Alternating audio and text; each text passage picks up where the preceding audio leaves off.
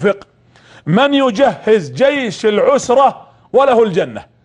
فجاء أبو عمر بن الخطاب فأنفق نصف ماله. نصف ماله أنفقها لله جل في علاه. ويقول أنا اليوم أسبق أبو بكر الصديق. وجاء أبو بكر وأنفق ماله كله. وش تركت يا عمر لأهلك؟ قال تركت لهم مثله. وأنت يا أبو بكر ماذا تركت؟ قال تركت لهم الله ورسوله. أنفقت كل مالي.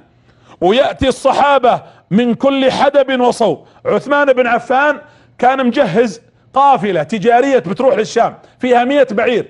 فلما سمع النبي يقول من يجهز جيش العسرة وله الجنة؟